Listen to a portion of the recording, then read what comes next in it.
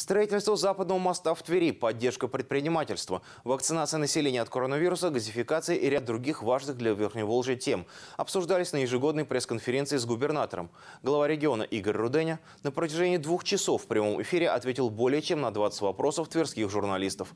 О том, как будут решаться насущные проблемы в грядущем году, об итогах уходящего расскажем в этом сюжете.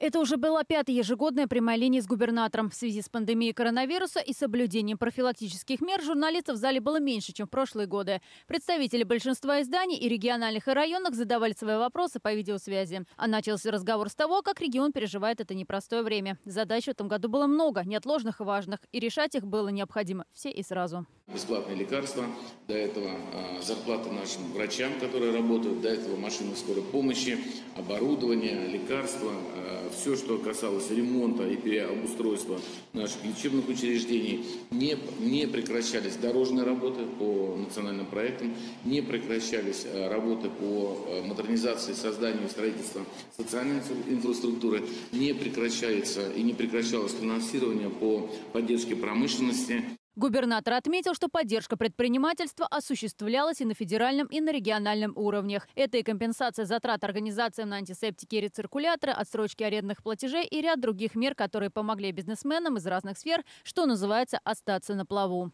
Надо поблагодарить еще, э, не забыть Российскую Федерацию э, по льготному кредитованию, по э, снижению процентной ставки, по компенсациям, особенно для тех предприятий, которые сохранили рабочие места топе вопросов, заданных главе региона, это вопросы здравоохранения, социальной сферы и ЖКХ. Темой для обсуждения стала массовая вакцинация населения от коронавируса. На сегодняшний день в Тверском регионе вакцины получили более 600 человек. Это работники здравоохранения, образования, соцработники. Начали работу прививочные кабинеты. В ближайшее время ожидается поставка вакцины в 50 тысяч доз. Этот год запомнился жителям Твери и появлением на городских улицах синих брендированных автобусов транспорта Верхневолжья. Глава региона поделился планами на следующий год и рассказал, что аналогично Личная транспортная система уже в 2021 году заработает в четырех городах Тверской области – в Зубцове, Ржеве, Старице и Кимрах. А у жителей отдаленных районов еще одна проблема – это газификация, о чем журналисты районных изданий посетовали главе региона. Подключение к газоснабжению стоит дорого, и не каждому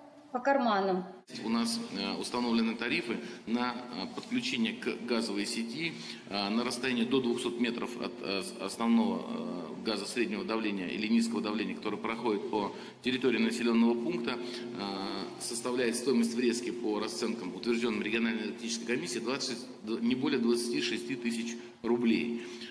При этом в затраты домовладения или владельцев жилого помещения входит приобретение газового оборудования. Игорь Руденя пообещал поднять этот вопрос на грядущей встрече с представителями «Газпрома». Жители юго-западных районов, где проблема газификации стоит наиболее остро, с нетерпением ждут появления в своих домах голубого топлива. Жители областной столицы в 2021 году тоже ждут перемены. Планируется дать старт началу строительства долгожданного западного моста и дорожной развязки рядом. Документация уже разработана и проект готов к реализации. Среди планов также расселение морозовских казарм, строительство скоростной железной дороги Москва-Санкт-Петербург, капитальный ремонт сельских дворцов культуры. Другие подробности читайте на сайте Панорама Про.